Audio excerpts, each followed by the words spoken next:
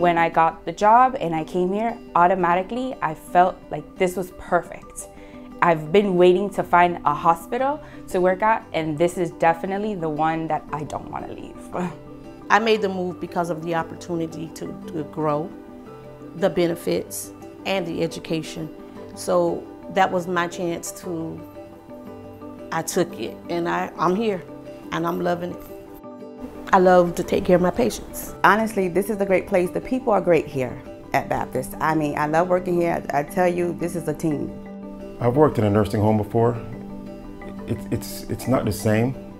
When it's time to get the job done, we all pitch in. Doesn't matter what floor you work on, doesn't matter. We pitch in. I love my supervisor, my co-workers, my managers, and most of all, my patients, because I love helping people. So at the end, like seeing the look on my patient's face, that's all I need for the day. You see different individuals, you meet new people every day. Um, your assignment changes so you're never bored or stuck. I feel like here there's a great team and the ratio here is a lot less than it is in a um, nursing center.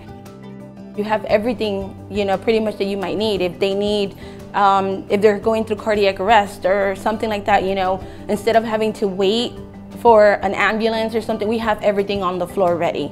So we would just call a code and we would get it done and the whole team comes in and helps. You basically learn a lot and you get a lot of hands-on experience.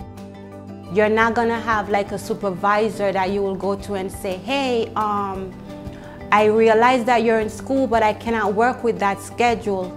No, because they are happy that you're trying to extend your knowledge while you're here with them, where you will get the opportunity to be a nurse, to be an ARNP. If I were you, I would actually apply here because it's the best place to be your best.